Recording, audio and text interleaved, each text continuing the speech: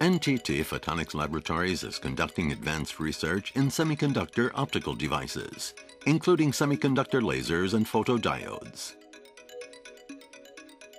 Here, let's introduce an indium phosphide Mach-Zehnder modulator that is suitable for long-haul and large-capacity optical communication network systems.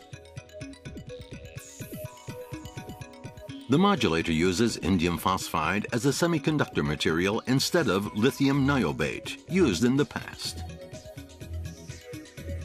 This has allowed chip size to be reduced by a factor of 20 and power consumption by a factor of 3. Shown here is a module incorporating the indium phosphide Mach-Zehnder modulator chip. It is able to achieve optical modulation with a driving voltage of only 1.3 volts.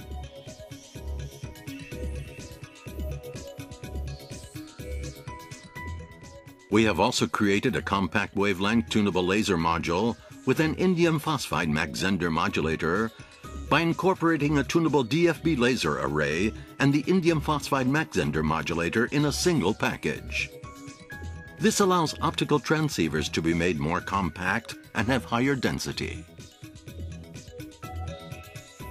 The indium phosphide Mach-Zehnder modulator can be integrated monolithically with other semiconductor optical devices that use the same material, making it possible to create devices with greater and higher functionality.